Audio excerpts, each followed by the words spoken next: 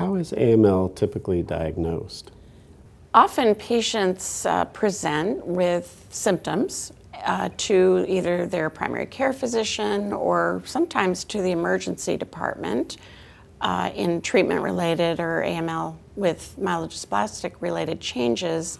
They may be seeing their oncologist uh, for a regular visit, and, uh, and there are certain clinical findings that might be uh, seen by the clinician.